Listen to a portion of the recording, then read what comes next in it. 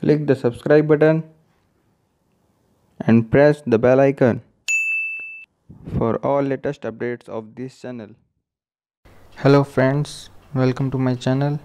In this video I will show you how to activate Windows 10. So first let me show you that my Windows is not activated.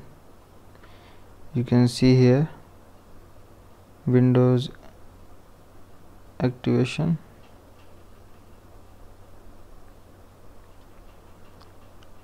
Windows is not activated. So first what you need to do is to go to Windows Defender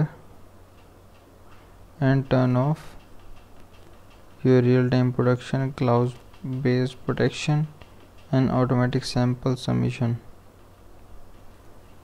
Now download the file in the description below. You will get this file you have to extract this. And you have to open this. And you have to launch this software. This will ask for admin permission.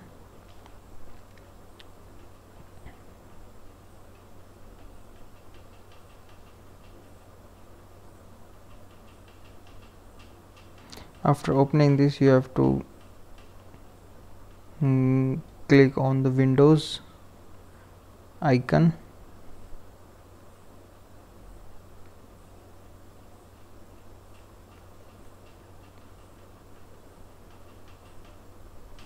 After clicking on this icon you have to go to activation tab and you have to install auto KMS after installing auto KMS you have to click on EZ activator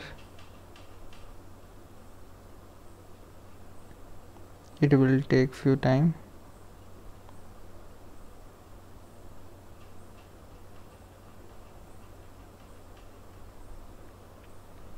You can see this product key uh, installation successful. Now you can go to your activation tab. You can see this windows is activated now. Product key has been installed successfully. Now you can uninstall auto KMS you have to close this and go back and shift delete this folder. This will show this error. You have to press ctrl alt plus delete and open the task manager. You have to delete it from here now close the task manager.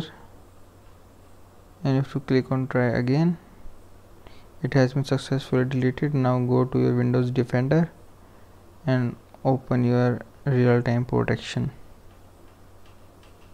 And everything. Now you can see that windows has been successfully activated. So this is the sim simple way by which you can activate your windows 10 it is for all the version windows 10 home pro. So if you like this video do share with your friends and help them also. Don't forget to subscribe my channel. Thanks for watching